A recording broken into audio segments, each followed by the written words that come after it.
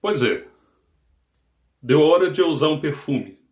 Perfume para sair, para ficar em casa, para ir até a esquina, famosa ir na padaria. Mas qual que eu escolho? Tenho vários. Tenho nacionais, contratipos, importados, baratinhos, mais caros. Sou um típico usuário de perfume após conhecer algumas resenhas e após entrar no mundo da perfumaria de cabeça. Ou quase isso.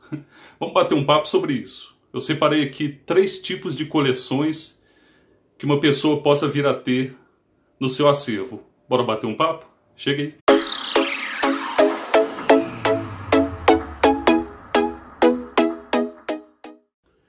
Quando a gente compra aquela ideia de que perfume é uma espécie de roupa, faz parte da vestimenta, ou mesmo uso, chega a ser igual vestir uma roupa, trocar de peça, cada dia você usa uma, logicamente, é, você passa a ter um outro tipo de visão, um outro tipo, um outro perfil de consumo, e é aí que a coisa pega às vezes, né? E a gente acaba sendo colecionador, e eu tô aqui hoje para explicar para vocês alguns tipos de coleções que eu separei. Separei três. O primeiro tipo de coleção. Não há coleção.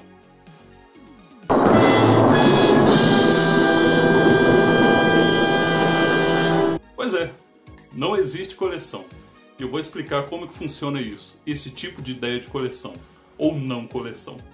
Ué? Bom, o que acontece aqui é o seguinte, é, vamos imaginar que você é o tipo de usuário né, o tipo de consumidor de perfume que você tem ali geralmente uma única fragrância, certo?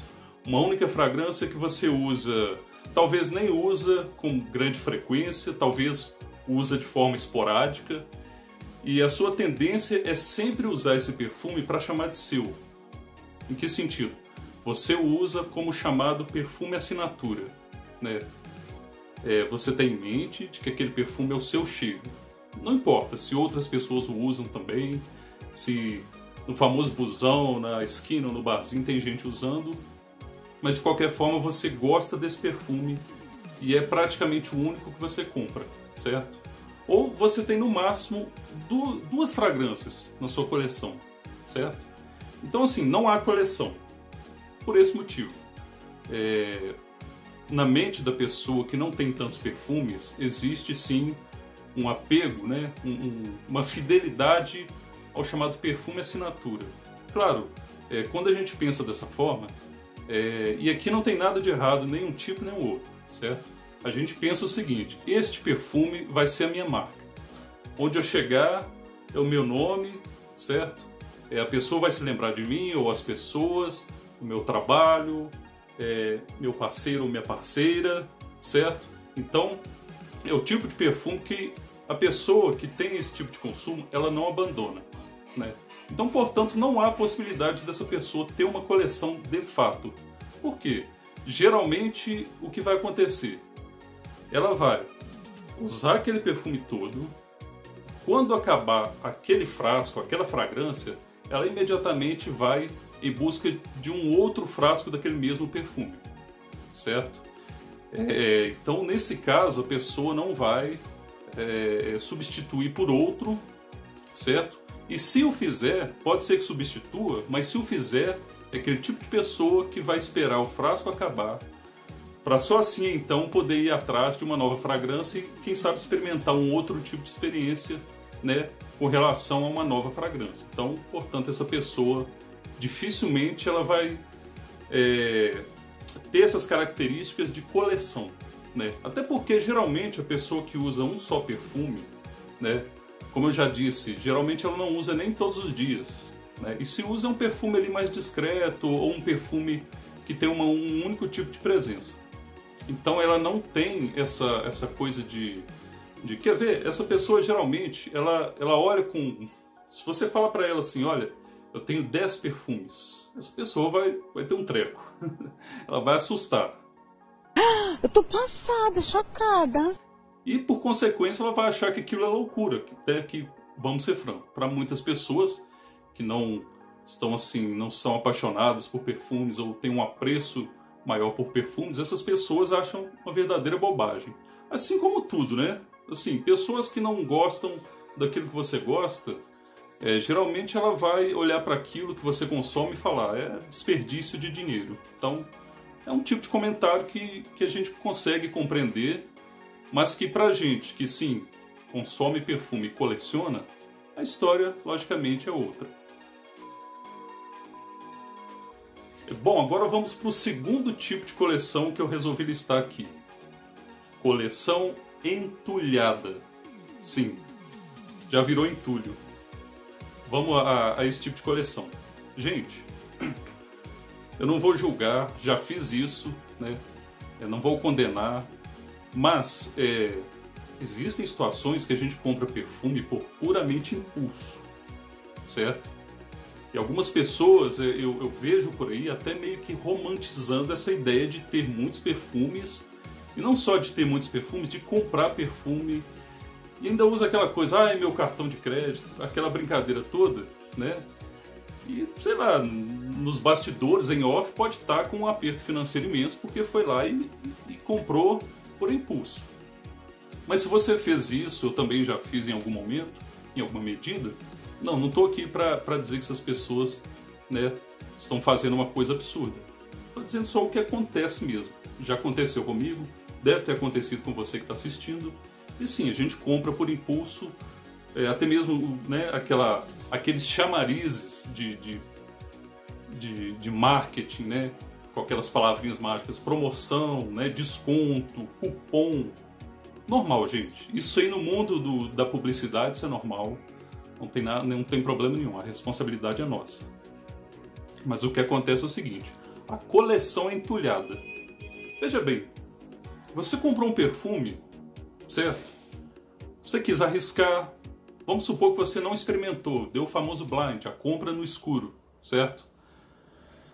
É, chegou na sua casa, foi entregue direitinho, você abriu, aquele momento ansiedade, momento curiosidade, só que esse perfume não te causou uma emoção muito boa, né? Talvez, é, é, dando exemplo, talvez é um perfume parecido com um daqueles que você já tem na sua coleção, certo? Ou mesmo se não for parecido, é um perfume que você olha e, e, e de acordo com a sua régua, ele é um perfume mais genérico, é um perfume que lado a lado com um perfume que você já tenha, ele vai ficar em segundo plano, terceiro plano, certo? Aí vem o detalhe: esse perfume não te, te deu é, uma emoção muito satisfatória, ele não é nem primeira, nem segunda, nem terceira opção quando você pensa em usar um perfume. Só que você não desfaz dele, certo? Você se apega a ele, né? Claro, estou dizendo você, você, mas é uma, é uma situação né, hipotética. É só uma suposição. Só supositório. Assim sendo, você continua com esse perfume na sua coleção e não desfaz de forma alguma. Não é que você não vende, não é que você não doa, você não tem coragem por algum motivo, por várias questões que, que não dá para discutir aqui, mas é uma boa discutir, né, psicologicamente falando, você não desfaz, certo? Talvez você assimila que isso é um número a mais na sua coleção, ok. Mas com o passar do tempo, com a repetição dessa prática, esses perfumes vão ficando ali na sua coleção. E daí o entulho. Por que o entulho? Gente, obviamente perfume, um frasco, uma caixa, certo? Nem que for um decante, eles ocupam espaço, certo? É um espaço físico, não é um espaço virtual, não é na nuvem, né? não é um backup virtual. Não, obviamente, né? Eu sei que é óbvio, mas vamos falar o óbvio. Ele ocupa espaço no espaço físico, no seu guarda-roupa, no seu armário, onde quer que você o guarde. E vai ficando ali. De repente, no meio dessa coleção entulhada, fica até difícil você escolher o perfume que você quer. Ou o contrário, você geralmente escolhe é, num universo de poucos perfumes, naqueles que mais, né, no meio daqueles que mais te chama atenção, aqueles que você mais gosta de usar, que se sente bem, ou que eventualmente fazem mais elogios. Você vai ficar é, é, no uso constante, trafegando entre esses perfumes. Vamos supor, supor, que você tenha 20 perfumes na coleção, mas geralmente você usa 5, certo? Ou seja, você fica alternando entre cinco perfumes e os outros 15 lá, né? Que faz parte dessa ideia que eu trago aqui de entulho. Portanto, é, tá aí mais um tipo de coleção, coleção entulhada. Por fim, a gente chega no terceiro tipo que eu quero abordar aqui de coleção, a coleção selecionada, certo? A selecionada, você já deve supor, é uma coleção, certo? Que você já comprou seus perfumes, você experimentou na loja, deu blind, tudo bem. Mas é, à medida que você não foi gostando das suas futuras escolhas ou das escolhas passadas, é, você foi é, tendo a consciência de que aqueles perfumes vão ser muito pouco usados por você. Quase nunca ou até nunca, certo? Então você, naquela consciência de não, a qualidade importa mais que a quantidade. Então você resolve o que? Dispor. Você resolve passar para frente aquele tipo de perfume. Né? Você pega o seu frasco, você fala: foi muito bom, foi legal ter te conhecido, mas adeus. Né? Então assim, você passa para frente aquilo que você vai usar com muito pouca frequência, né? quase nunca, como eu já disse, e vai ficar ou ficaria entulhado do seu espaço físico para guardar seus perfumes. Então, a coleção selecionada, seletiva, é aquela que você é, talvez a mais, a mais consciente das seleções, né, das coleções, melhor dizendo. É aquela que você pega, filtra de acordo com o seu gosto pessoal, de preferência, né? Eu acho que a gente deve se basear naquilo que nos faz bem. Né? Porque de repente você recebe um comentário, um elogio, não, esse perfume é muito bom e parará, só que você mesmo não gosta daquele perfume. Então, é hora de você pôr na balança o que vale mais. Se é o seu conforto, se é o seu gosto pessoal, ou se é o grau de elogio que fazem ou não para o seu perfume, certo? É uma boa ideia. E esse tipo de coleção eu hoje vejo com muita clareza que é o mais interessante, certo? Eu também tenho aqui, eu não tenho tantos perfumes, mas tem uma quantidade assim muito acima da média da maioria das pessoas que eu conheço porque isso também é importante ser dito. É, a gente às vezes fica ali trafegando entre as comunidades ou os grupos perfume ou batendo papo sobre o assunto com as pessoas e daí a gente fica com uma ideia, muitas das vezes errôneas, errônea, que tá todo mundo cultuando a história do perfume, cultuando o consumo, a coleção. E, gente, eu tenho, né, vocês podem dizer aqui nos comentários também, como sempre, fiquem à vontade. Eu quero que vocês comentam, comentem o seguinte: como é, é a perfumaria no meio em que vocês vivem, no meio que vocês, no cotidiano, trabalho, escola, familiar também. Né? Seria interessante a gente bater esse papo também aqui nos comentários, porque assim, eu tenho a sensação, certo? De que a maioria das pessoas, se é que tem algum perfume em casa, não estou falando de, de, de, produtos higiênicos, né? de, de higiene pessoal, de limpeza, não. Estou falando assim, perfumes mesmo, esses que, que está acima ali do, do básico, que é o desodorante, que seria o desodorante. Eu tenho a sensação que essas pessoas não têm toda, é, todo esse apreço. Essas pessoas, eu digo a maioria, não tem todo esse apreço pelo mundo da perfumaria, tal qual muitos de nós, inclusive você que pode estar assistindo esse vídeo, tem. Né? Porque é gostoso, a gente já adquiriu é, essa mentalidade de que é, a perfumaria, como eu disse lá no início, é uma espécie de roupa que você pode ter a possibilidade de usar cada dia uma fragrância, assim como cada dia a gente usa uma bermuda, uma calça, é, uma camisa, a saia.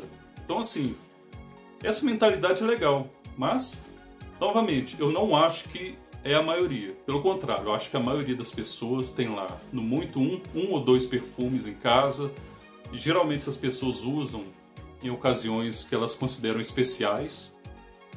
Então, portanto, muito diferente é, da nossa mentalidade que geralmente é, a gente encontra aqui quando conversa com pessoas que gostam de perfumes.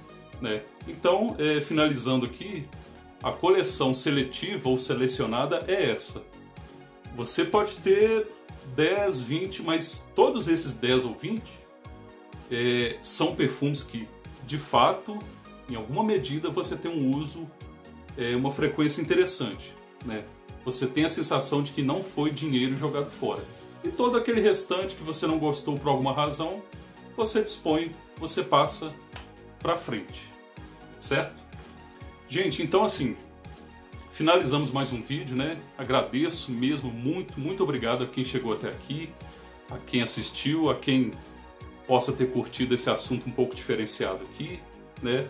E aproveito também, gente, para agradecer as pessoas que estão se inscrevendo aqui no canal, tá? Muito obrigado, gente. As pessoas também que estão é, curtindo, dando seu like, é, fazendo comentários, né? Sejam bem-vindos, como eu costumo dizer, à seção dos comentários. Obrigado a vocês que estão dando essa força, né? Qualquer canal de qualquer assunto no YouTube, ele precisa dessa identificação que a gente tem, né? É, precisamos identificar o quanto as pessoas estão é, começando a gostar, começando a, a, pensar do tipo, não, vou dar uma força para um canal pequeno. E até então é um canal bem pequeno, mas com a força de vocês pode vir a ser gradativamente um pouco maior.